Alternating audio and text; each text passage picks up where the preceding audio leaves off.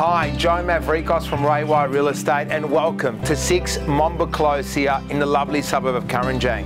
Approximately situated on a 667 square metres allotment in a cul-de-sac location.